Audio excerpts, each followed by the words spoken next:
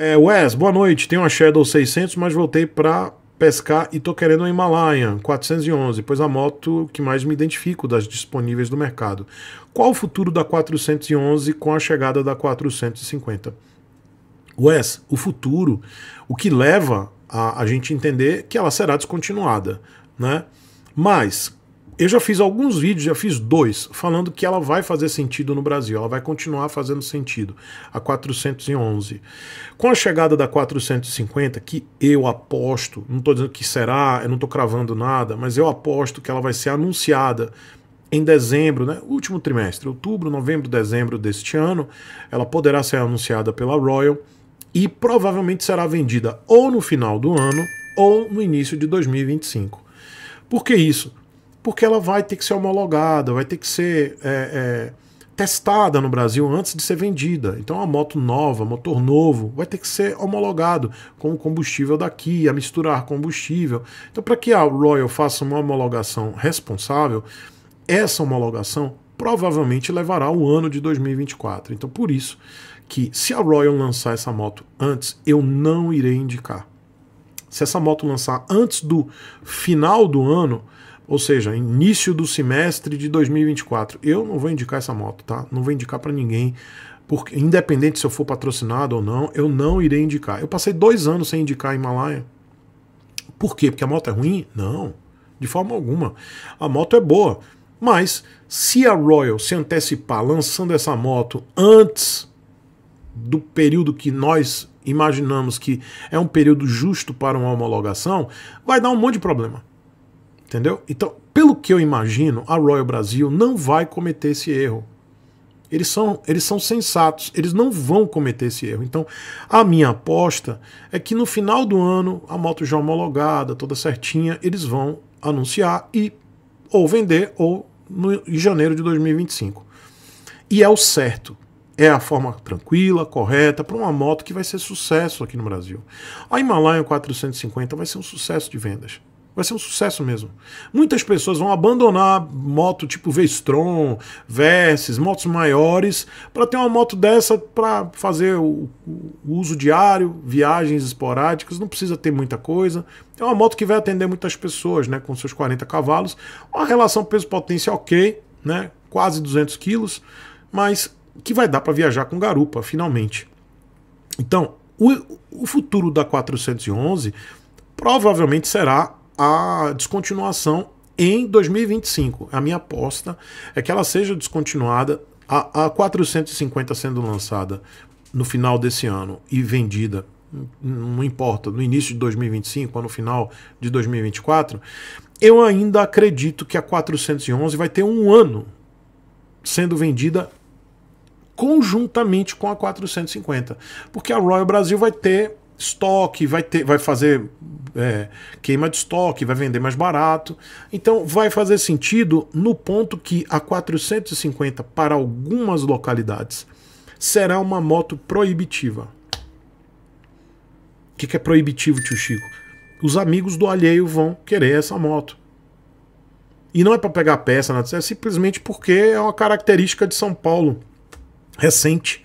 Os caras levam essa moto aí para fazer nada, entendeu? E levam mesmo. Eu não vou nem falar Rio de Janeiro, vou falar São Paulo. Mas Rio de Janeiro, não sei se, se Rio de Janeiro vai ter esse problema. Mas São Paulo é batata, vai, vai, vai rolar. Então, para as pessoas que têm 411, elas vão rodar mais tranquilas. Porque a 411 até hoje tem, acontecem, tem alguns, algumas situações que acontecem de roubo da 411, mas com a chegada da 450, a 411 vai ficar cada vez menos interessante para os amiguinhos do alheio. Então, quem tem uma 411, roda na cidade, faz viagens esporádicas sem garupa, faz sentido, vai fazer sentido. Por quê? Porque é a moto low profile, a moto que não vai chamar atenção, é a moto que vai passar sem problemas em relação à segurança em São Paulo. E eu digo isso porque tem gente que está descaracterizando a moto em São Paulo para poder rodar. Eu conheço algumas pessoas que estão. Eu não vou entrar em detalhes para não não prejudicar a estratégia de algumas pessoas, mas existem pessoas que estão descaracterizando suas motocicletas para poder rodar em São Paulo. E aí não vou entrar em detalhe. Quem entendeu, entendeu. Quem não entendeu, busca entendimento. Faz igual o Etebilu, busca conhecimento. Mas a Himalaia, você não precisa nem descaracterizar, porque é uma moto que é pouco interessante. Tem gente que acha horrorosa, tem gente que acha é o bonito feio. Então ela vai fazer sentido. Ela vai ser uma moto com seguro barato. Ela vai, vai valer muito menos. Tá? Eu tenho uma Himalaia, eu não estou nem um pouco preocupado se ela vai valer 10 mil reais no ano que vem. Eu não estou preocupado. Ela me atende eu vou poder viajar, eu vou ficar mais tranquilo indo para São Paulo. Eu vou, eu rodo aqui de boa, sem preocupação. O cara olha para a moto, ele acha que é uma moto velha. Ou ele olha a moto, que moto horrorosa, não tem nem saída, não sei nem que moto é essa, que bosta é essa. Então em São Paulo ela vai fazer sentido para algumas pessoas. Vide, como eu disse, tem pessoas, eu conheço algumas, que estão descaracterizando suas motos novas para não chamar atenção. Então imagine você rodando numa moto que ninguém vai ligar, né? mas que vai te atender. Então ela vai fazer sentido em São Paulo.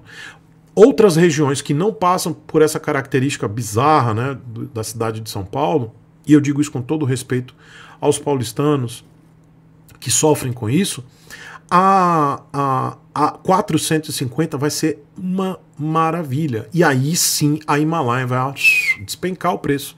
Por exemplo, onde eu moro, aqui em Salvador, a Himalaia 411 vai valer, sei lá, 10 mil reais, 15 mil reais. Vai valer menos que uma CG. Eu estou preocupado com isso? Nem um pouco. Porque eu uso, eu rodo com a moto. Eu não estou preocupado. Se eu tivesse preocupado, já tinha botado para vender no desespero. Mas a moto faz sentido para mim. Eu vou usar, vou continuar usando. O seguro é bom, é barato. Né? Então, o caminho da 450 será é, brilhante para o Brasil. Vai ser bom. Né? Pra, principalmente para os estados fora o estado de São Paulo. E eu tô falando do estado mesmo, porque eu sei que a galera do interior de São Paulo fala, ah, mas aqui não tem problema. Tá, mas aí quando você tiver que passar lá na região metropolitana de São Paulo, você vai ver o problema. E, e o, o, o resto do Brasil vai acolher a 450 de uma forma legal. E a 411 vai despencar o preço. Então, pessoas que estão aí querendo a 411, mas estão pensando assim, poxa, é, não, pô, é muito cara, não vale a pena. Cara, vocês vão comprar essa moto a preço de banana preço de nada. E ela é uma moto que ela atende, tá? Atende na cidade, é uma moto que faz 30 km por litro na cidade. É uma moto que tem uma baita autonomia, tem um tanque legal, confortável, dá para viajar e a manutenção dela vai ficar bem barata. Ah, não vai ter peça? Vai ter peça sim. Vai ter peça porque essa moto vendeu muito no mundo inteiro. Vendeu muito mesmo. Vai ter peça. A Royal não vai deixar de vender peça para essa moto, porque essa moto vendeu bastante, tá? Então é isso. Eu acho que ela vai ficar um ano aí convivendo com a 450, provavelmente um ano de 25. E a 450 ela vai, aos pouquinhos, vai tomando lugar até que a, a 411 vai deixar de ser vendida. E aí vai fazer, vai fazer sentido para vocês? Para alguns vai fazer, para outros não. E a Scrum, muitos vão dizer assim, poxa, mas e a Scrum? Aí vem um ponto. A Royal muito provavelmente vai lançar uma versão Scrum 450. Tá na cara, né, gente? Por que, que eles não lançam agora? Porque acabou de lançar a Himalaia 450. Se você faz um lançamento muito próximo, você acaba prejudicando o marketing, né? Então, provavelmente, eu, eu aposto que ainda no ano de 24, a Royal vai, a Royal India, não Brasil, vai anunciar a Scrum 450. Eu espero que ela venha realmente com uma, um escapamento na pegada Scrambler, né? Eu espero que não seja tipo a, a, essa Scrum que não tem. É, é só mudou umas coisinhas, né? É uma boa moto, tá? Eu acho legal. A roda é, 19 ela melhora a ciclística na cidade, ficou legal. Então a minha aposta é que a Scrum 411 aí ela já vai ter uma sobrevida maior. Então se a gente está e tudo isso é especulação, tá, gente? Eu não tenho informações, eu não vou ficar mentindo para vocês dizendo que eu sei, eu não sei nada. Tudo especulação. Como eu sempre jogo limpo com vocês.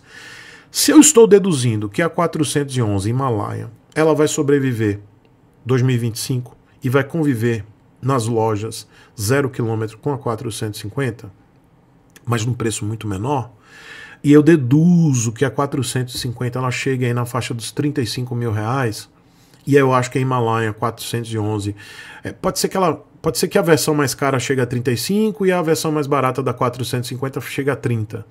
E a 411 ela vai cai para 25 mil reais ou menos, ou menos, tá? Não sei. Ou que a própria Himalaia 450 chega a 30 mil reais. Pode ser, tá? Não vou tirar essa possibilidade, não. Mas, se eu deduzo que a Himalaia 411 vai sobreviver 2025, a Scrum 411 vai até 2026, porque façam a conta comigo. Se a Royal lançou ano passado a 450 e a 450 só deve chegar no final desse ano ou em 25, se a Royal este ano anunciar, e olha que a gente não vê notícia nenhuma, tudo especulação. Se a Royal anunciar uma Scrum 450, ela só deve chegar no Brasil em 2025 no final ou no segundo semestre. Então é a mesma, é a mesma estratégia. Ela vai conviver com a Scrum 411 para depois a 411 Scrum né, ser descontinuada. E aí, quem comprou Himalaia 411 vai ter muito tempo ainda de peça, de disponibilidade, porque a, a manutenção é a mesma, né? É, a mecânica é a mesma. Por isso que eu digo, a Himalaia 411 ainda vai perdurar aqui no Brasil porque ela faz sentido. A gente não tem muita grana. O Brasil é um país com pessoas que não têm tem dificuldade de crédito, tem pouco dinheiro. A moto no mercado das, das paralelas, das motos usadas, desculpa, é, vai ter um mercado. Tá? Muita gente acha, ah, essa moto vai ser uma porcaria, ninguém vai querer comprar. Na realidade, ela vai despencar o preço, mas vai ter gente comprando. Vai ter gente comprando essa moto. Mas vai despencar o preço. Quem tá achando que tá com o Himalaia 411 tá com ouro na mão, esquece. Tá? E quem quer comprar um Himalaia agora ou uma Scrum 411, saiba, terá uma moto com muita desvalorização. Vale a pena, tio Chico? Se, fa se faz sentido para você, vale a pena. Para mim, está valendo a pena. Eu não botei a minha para vender, a minha tá aí, tô usando, Estou feliz, estou satisfeito, mas a, o meu perfil é diferente. Eu sou criador de conteúdo. O seu perfil é um perfil diferente do meu, então você precisa encaixar na sua realidade. Faz sentido? Compra. Não faz sentido? Espera 450. Deixa o dinheiro aplicado e compra 450, porque com certeza a linha 411 será descontinuada.